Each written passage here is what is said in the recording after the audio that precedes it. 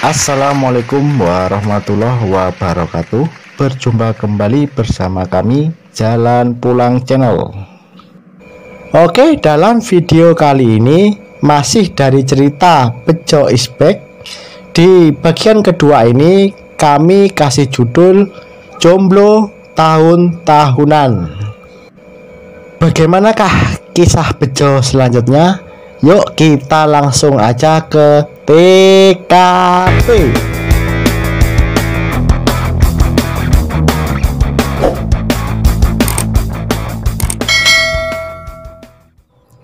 Walah walah Jo ya mene kok lagi tangi? Kan iki wis wayahe awakmu berangkat kuliah to Jo ayo gendang tangi gendang adus kono Yo, iya mbah, iki aku ya wis tangi.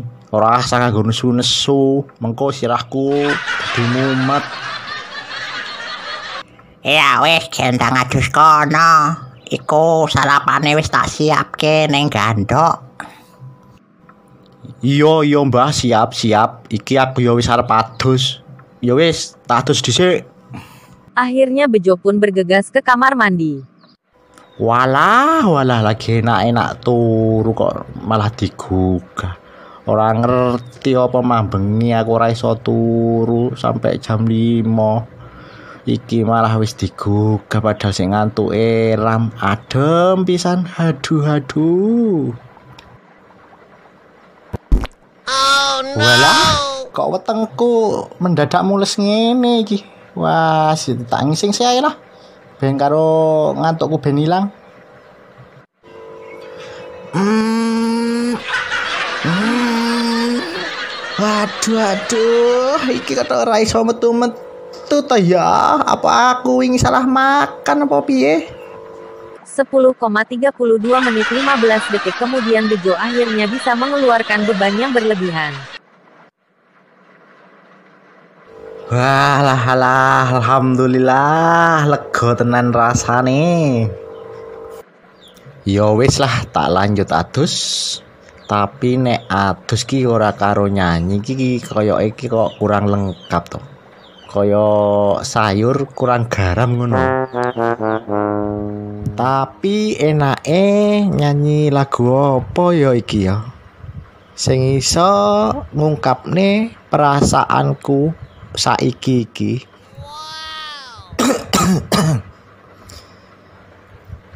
Kok yang ngenes tenan. Bendino dewean Jomblo ku tahun tahunan Oh no. Mong iso nyawang. Konco Podo pacaran Saben dina kerja golek modal rapi. Tapi sing dirabi ora ana. Perih rasane yen urip dhewe bocora duwe. Di saat Bejo mandi, Mbah Trimbil sudah menunggu lama di dapur. Aku wis ayah Urip dhewean ora ana sing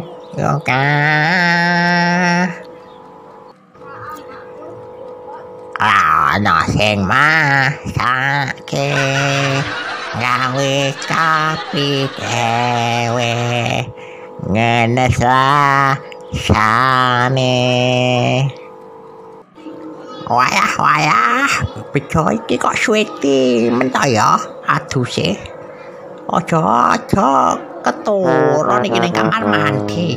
Setelah selesai mandi Bejo langsung menuju dapur untuk sarapan bersama Mbah Trimbil.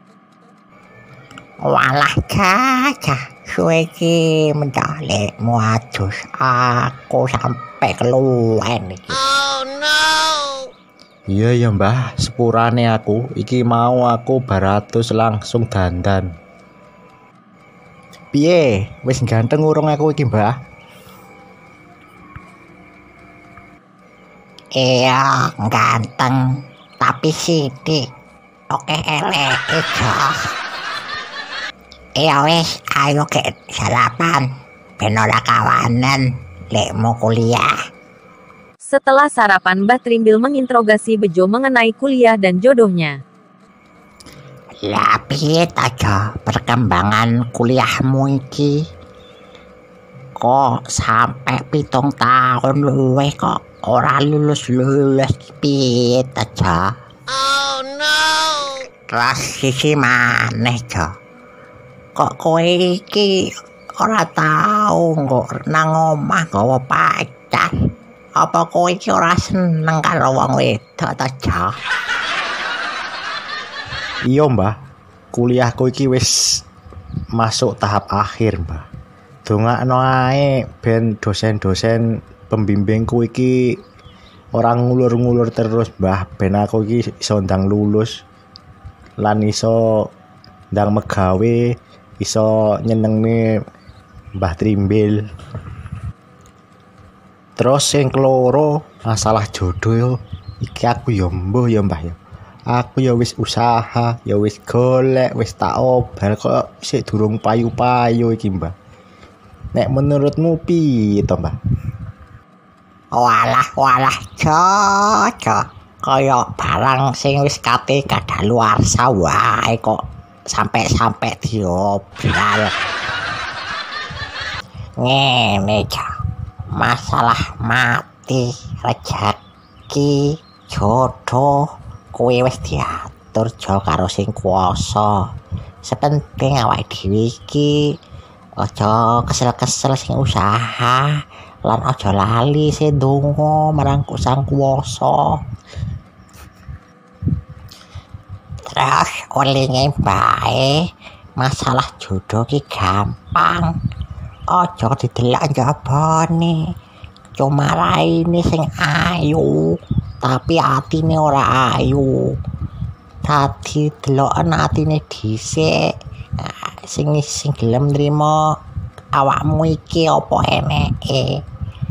Insya Allah aja kuwi apik nggo masa depanmu.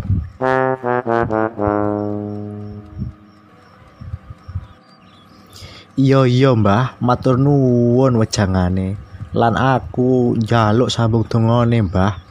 Ben aku dilancarne kabeh urusanku lan cita-citaku, Mbah. Ya wis, Mbah, aku tak berangkat kuliah sik. Oh iya, aku njaluk sangune. Dhuwitku sing wingi wis entek. Oh iya, Mbah sekalian. Dina iki engko aku butuh duit gawe ngurus nggarap skripsiku, Mbah.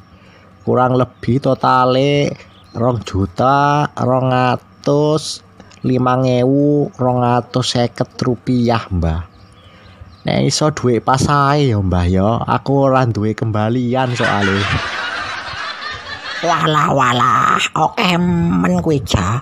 Duit kabeh kuwi ja. Wah, ya wis tak jopokne. Duit pas toh. Akhirnya Bejo berangkat kuliah dengan membawa uang saku sebesar Rp2.205.250. Akan digunakan untuk apa uang tersebut saksikan di cerita Bejo Isbek berikutnya. Oke, sekian dulu kisah Bejo Ispek kali ini. Mudah-mudahan menghibur dan memberikan manfaat. Segala kritik, saran, pendapat, ide cerita, atau apa pun itu, silahkan tulis di kolom komentar agar kami bisa menjadi lebih baik lagi. Akhir kata, di kanan gunung, di kiri gunung, di tengah-tengah ada lidah bergoyang. Penontonnya bingung, kreatornya pun juga bingung. Yang penting udah usaha. Sampai bertemu lagi di kisah Peco Ispek selanjutnya. Wassalamualaikum warahmatullahi wabarakatuh.